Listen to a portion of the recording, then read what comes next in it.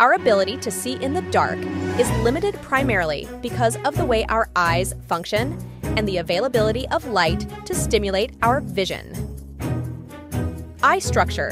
Human eyes contain two types of photoreceptor cells rods and cones. Rods are responsible for vision in low light conditions, while cones are responsible for color vision in brighter light.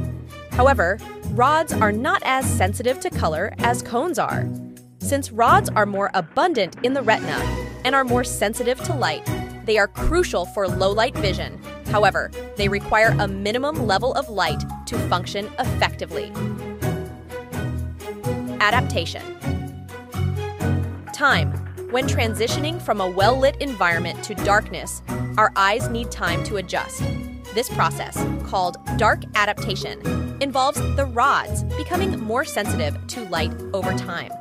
During this adaptation period, vision may be extremely limited until our eyes adjust. Availability of light. In complete darkness, there is no light available for our eyes to detect. Without light, there is nothing for our photoreceptor cells to detect and transmit to the brain for processing. Therefore, we cannot see in such conditions.